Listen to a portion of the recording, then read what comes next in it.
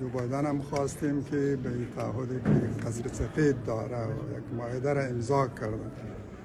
قطعا نادرست نیست برای حیثیت امریکا که از عقب نشینی در همین مدت باید نیروهای امریکایی از افغانستان خارج یک یک و دومی که حکومت را که امریکایی آوردن و تحمیل کردن به افغان قبول قبول نیست ناکام ناموفق دچار اختلافات داخلی عامل جنگ.